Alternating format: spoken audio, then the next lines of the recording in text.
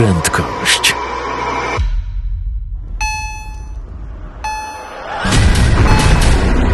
Głupota.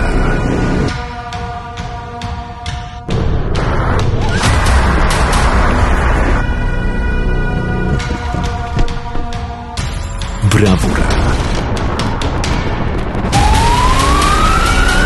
Ignorancja.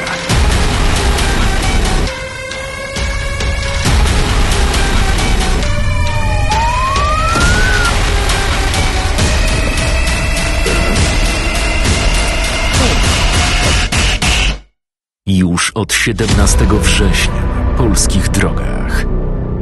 Recydywiści. Koniec gry.